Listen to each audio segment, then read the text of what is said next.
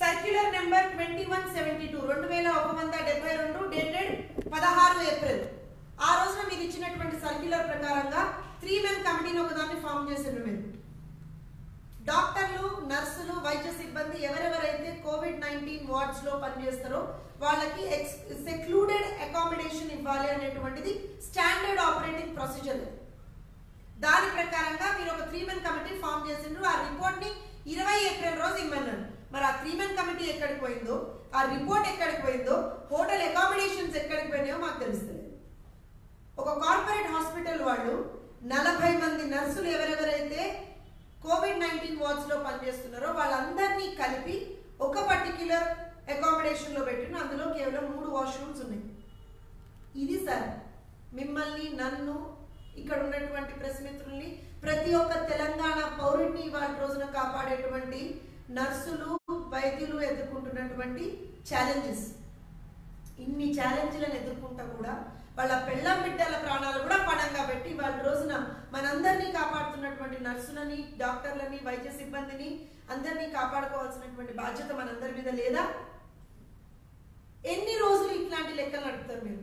ఇప్పటికైనా తెలివి తెచ్చుకొని ఒళ్ళు దగ్గర పెట్టుకొని మీరు చెప్పిన మాట ప్రకారమే బతుకుంటే బల్సాక్ తినొచ్చు అన్నారు కదా మరి ఆ బల్సాక్ ఎక్కడికి వెళ్ళి చేస్తారో తెద్దురు కానీ కానీ ఫస్ట్ మన నర్సుల్ని వైద్యుల్ని పారిశుద్ధ కార్మికుల్ని ప్రతి ఒక్కళ్ళు ఎవరెవరైతే కరోనాలో మిమ్మల్ని నన్ను అందరినీ కూర్చొని కాపాడుతున్నారో వాళ్ళందరినీ కాపాడుకున్నారు మీరు చేసేటువంటి లెక్కల మీరు చేసేటువంటి పరీక్షల లెక్క మా దగ్గర ఉన్నది. పరీక్షల లెక్క అంటే మీరు ఇచ్చిన లెక్క ఏందయ్యాలంటే ఇంతమంది మా దగ్గర పాజిటివ్ ఉందని చెప్పిండ్రు కానీ ఎన్ని పరీక్షలు చేసిండ్రు? మిగతా రాష్ట్రాలు అన్ని అనౌన్స్ చేసినాయి. ఎన్ని పరీక్షలు చేసిండ్రు? పది లక్షల జనాభాకి సగటున మీరు ఎన్ని పరీక్షలు చేసిండ్రు? అనే లెక్క కూడా తెలంగాణ రాష్ట్రంలో వైద్య ఆరోగ్య శాఖ మంత్రుల దగ్గర కానీ ఎవరి దగ్గర కానీ లేదు. అది దౌర్భాగ్యం తెలంగాణ. ఇంకా ఇక్కడ కూర్చొని మనం డాక్టర్లను కాపాడుకుందాం. వాళ్ళ దేవులు వాళ్ళ దేవుళ్ళు వాళ్ళ దేవతలు అని చెప్పి మీరు ప్రెస్ మీట్లలో మాట్లాడి తప్పించి నిజంగా వాళ్ళని కాపాడుతున్నారా అని మేము మిమ్మల్ని ప్రశ్నిస్తున్నాం. ఎందుకు మీకు మీరు వాళ్ళకు ఒక సెపరేట్ అకామిడేషన్ ఎందుకు ఇవ్వలేదు?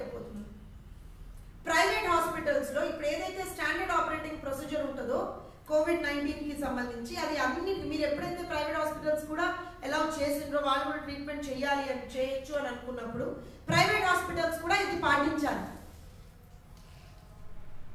సోషల్ మీడియాలో వచ్చింది మొన్న రెగ్యులర్ మీడియాలో కూడా వచ్చింది. ఒక రెండు ప్రైవేట్ హాస్పిటల్స్ ఎక్కడైతే నర్సులు పాజిటివ్గా కరోనా పాజిటివ్గా నిర్ధారించబడినరో వాళ్ళని బ్లంట్గా ఇంటికి వెళ్ళి హోమ్ క్వారంటైన్లో ఉండండి అమ్మా అని చెప్తున్నారు. చిన్న చిన్న పసి పసి పసిగుడ్లను వేసుకొని వాళ్ళ ఇళ్ళల్లో హోమ్ క్వారంటైన్లో ఒక్కొక్క ప్రైవేట్ హాస్పిటల్ మీ దృష్టికి తీసుకొస్తున్నాం కేసీఆర్ గారు ఒక్కొక్క private hospital isolation corona isolation వార్డుల పేరు మీద రోజుకి లక్ష నుంచి లక్షన్నర ఛార్జ్ చేస్తున్నాయి. పద్నాలుగు రోజులకి పద్నాలుగు లక్షలు లక్ష చొప్పున వేసుకున్నా సరే. మరి మీరన్న టిప్స్ ఎక్కడికి పోయింది? చెప్పిన కథలు కారణాలు ఎక్కడికి పోయింది? మీరు కూడా ఒక పేషెంట్ని మేము ట్రీట్ చేయడానికి కొన్ని లక్షల రూపాయలు మేము పెడుతున్నాం. కేవలం పీపీలకే మూడు లక్షల రూపాయలు పెడుతున్నాం అన్నాను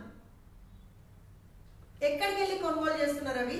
ఎందుకంటే అంత కాస్ట్లీ పీపీకి పీపీలు వేసుకున్నాక కూడా మరి డాక్టర్లకి నర్సులకి మిగతా సిబ్బందికి పాజిటివ్ వస్తుంది అని అంటే మనం ఆలోచించాలి. అంటే కమ్యూనిటీ స్ప్రెడ్లకు పోయిందా తెలంగాణలో? క్లారిటీ ఎందుకు ఇస్తలేదు మీరు? ప్రజల్ని ఏ రకంగా కాపాడుకోవాలి అనే దాని మీద మీకు ఎందుకు ఒక అవగాహన లేకుండా బ్లైండ్ ఎందుకు పోతున్నారు?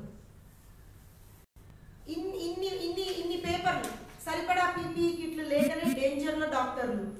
హైకోర్టు మొట్టికాయలు వేసింది మీకు ఇంతగానో మీరు పీపీఈలు ఇస్తే కనుక మరి డాక్టర్లకు ఎట్లా వచ్చింది నర్సులకు ఎట్లా వస్తుంది అని చెప్పి. వీటన్నిటి లెక్కలు మీరు ఇవ్వాలి ఖచ్చితంగా ఇవ్వాలి ఇప్పుడు ఇమ్మీడియట్గా అయితే మీరు ఎవరెవరైతే కోవిడ్ నైన్టీన్ వార్డ్స్లో పనిచేస్తున్నటువంటి మీరే కాదు ప్రభుత్వ ఆసుపత్రుల్లోనే కాదు ప్రైవేట్ ఆసుపత్రుల్లో కూడా ఎక్కడెక్కడైతే కోవిడ్ నైన్టీన్ వార్డ్స్లో పనిచేస్తున్నటువంటి డాక్టర్లు నర్సులు ఇతర వైద్య సిబ్బంది వాళ్ళు టెక్నీషియన్స్ కానివ్వండి ఎవరైనా సరే అలాంటి వార్డ్స్లో పనిచేసే వాళ్ళకి సెపరేట్ అకామిడేషన్ ఇవ్వాల్సినటువంటి అవసరం ఉంది. అది స్టాండర్డ్ ఆపరేటింగ్ ప్రొసీజర్ దాని నుంచి డీవియేట్ అయ్యేటువంటి అవకాశం మీకు లేదు. మీరు అది ఇమ్మీడియట్గా చెయ్యాలి. చెయ్యకపోతే మాత్రం తీవ్రంగా పోరాటం చేస్తాం. ఎందుకంటే ఆ డాక్టర్లని నర్సులని కాపాడుకోవాల్సినటువంటి బాధ్యత మా మీద ఉంది. మా ప్రాణాల కోసం వాళ్ళ ప్రాణాలను అడ్డుగా పెట్టి వాళ్ళు పోరాడుతున్నారు కాబట్టి. ఇంకొక విషయం మీరు ఏ ఎక్కడెక్కడ ఎన్ని పీపీలు తెచ్చినాము ఎన్ని మాస్కులు తెచ్చినాము ఇవన్నీ చెప్తున్నారు కదా.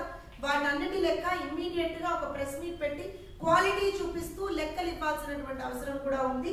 దాన్ని కూడా దానికి సంబంధించి కూడా ఒక వైట్ పేపర్ మేము డిమాండ్ చేస్తున్నాం. ఇది కనుక ఇమ్మీడియట్గా జరగకపోతే మాత్రం ఖచ్చితంగా సీరియస్ స్టెప్ తీసుకొని వాళ్ళని కాపాడుకోవాల్సినటువంటి కాపాడుకునేటువంటి ఒక ఒక ఒక కార్యక్రమం మేమే తెలుగుదేశం పార్టీ నుంచి అయితే స్టార్ట్ చేస్తాం. ఎందుకంటే we cannot afford to lose our warriors వాళ్ళ కోసం పూలు జల్లి చప్పట్లు కొట్టి ఇవన్నీ ఏవైతే చేసినామో ఇవాళ రోజున వాళ్ళ ప్రాణాలకి మన ప్రాణాలైనా అడ్డుగా పెట్టి వాళ్ళని కాపాడుకోవాల్సినటువంటి బాధ్యత మన మీద ఉంది. సో ప్రతి ఒక్క ఈ సందర్భంగా పత్రికాముఖంగా ప్రతి ఒక్క నర్సుకు డాక్టర్కు ఇతర వైద్య సిబ్బందికి వాళ్ళలో ల్యాబ్ టెక్నీషియన్స్ ఉన్నారు ఫార్మసిస్టులు ఉన్నారు శానిటేషన్ సిబ్బంది ఉన్నారు సెక్యూరిటీ సిబ్బంది ఉన్నారు పోలీసులు ఉన్నారు ఈవెన్ జర్నలిస్టులు కూడా ఉన్నారు. You're also doing a wonderful job మీ అందరికీ కూడా పాదాభివందనాలు చేసుకుంటూ మిమ్మల్ని అందరినీ కూడా కాపాడుకుంటామని మరి ఒక్కసారి తెలియజేసుకుంటూ కేసీఆర్ గారు ఇప్పటికైనా కళ్ళు తెరవండి. డాక్టర్లని నర్సులని అందరినీ కాపాడుకుంటాం.